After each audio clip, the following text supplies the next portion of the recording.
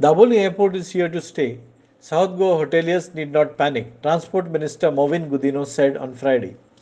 The old terminal is being developed and will be ready by September 2023.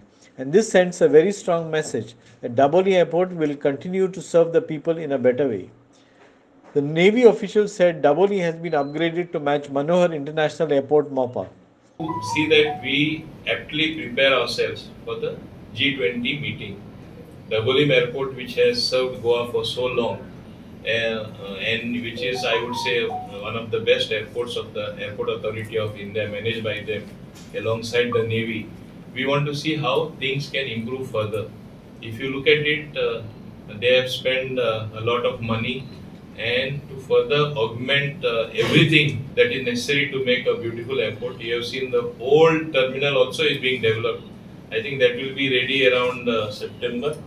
Around September, that will be ready, uh, which also at the same time sends a very very strong message that Dabolim, which has always catered to tourism in Goa, is going to uh, continue and whatever uh, certain people express contrary views are having no substance at all. That also is the message that has to go. South Goa hoteliers are here. They wanted, uh, in fact, to be in the know of things as to what is being done at Dabolim. Because as you know, when tourists come, when people visit our state, planning is done of, by the tour operators much in advance, several months in advance, sometimes year in advance, as to what is going to be uh, the place of uh, uh, the flight operation or Dabolim in that uh, entire context.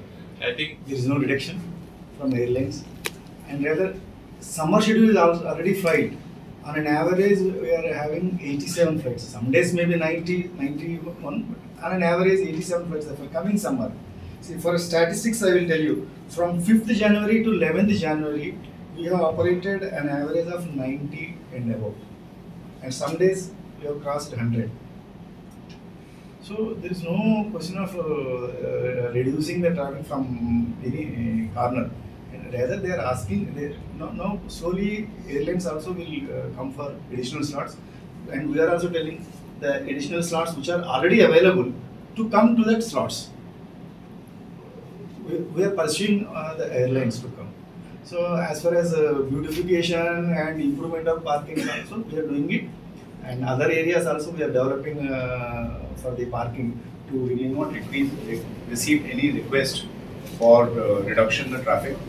In fact, on the contrary, the request has been there for increase in traffic. So over the last month to the next month, which is the forecasted month, so we are going to have a little more traffic. As far as the landing slots are concerned, we've offered as much as 340 slots. Uh, that itself, the airlines are not able to match up. So there is no shortage of slots to land. In fact, there are in excess. Uh, right now, we have more than 150 slots which are still vacant, which the airlines can comfortably use. And uh, all the development which is happening, we've upgraded our uh, airport to the CAT 2, which is uh, at par with Mopa. So, in case of low visibility monsoons, also the aircraft can now land. Earlier, that was a limitation. So, every which way, uh, uh, I think that uh, it is uh, moving in the right direction and the traffic is not, redu- not reducing at least in the foreseeable future. Kiran Borkar for Herald TV.